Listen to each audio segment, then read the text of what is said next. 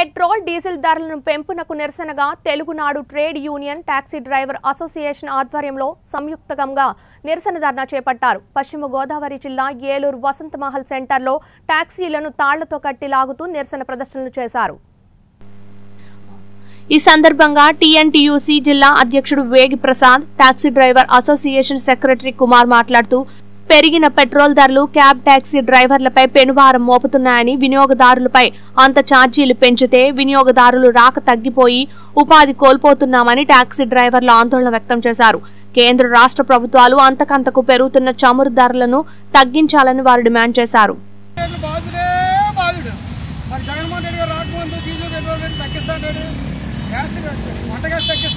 కానీ నూట ఎనిమిది రూపాయలు పెట్రోల్ ధర. నూట రెండు రూపాయలు డీజిల్ మరి బాధుడే దీన్ని ఎవరిని అడగాలి?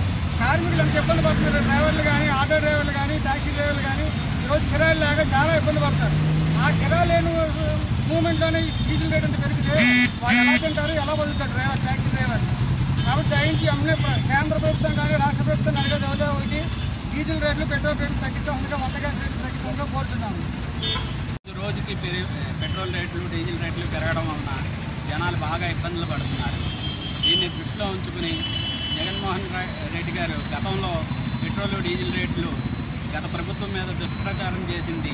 ఇప్పుడు ఆయన ఎక్కాడు కనుక తగ్గించడానికి సాధ్యమైనంత కేంద్రంతో మాట్లాడి చేస్తే బాగుంటుందని అందరూ పోలీసు వారు సహకరించి మేము కూడా ఆ టైంలో ఆ ఖాళీ వదిలిన టైంలో ఇచ్చాం ఏదో ఒకటి అరా కిరాయి వచ్చిన ఈ డీజిల్ రేట్ల వల్ల మేమన్నా వంద రెండు వందలు ఎక్కువ చెప్తుంటే అవసరం లేదండి ఎవరి దగ్గర డబ్బులు లేక జనం దగ్గర మాకు వద్దని వెళ్ళిపోతారండి కార్లు. మా పరిస్థితి ఎలా అయిపోయిందంటే ఇక్కడ మమ్మల్ని చూసేవాళ్ళు లేడు.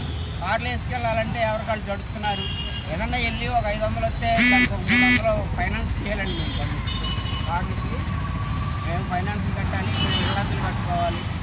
దీన్ని దృష్టిలో పెట్టుకుని గవర్నమెంట్ వారు మా అందరూ దయించి ప్రజలందరికీ ఏం చేయాలని అడుగుతున్నాను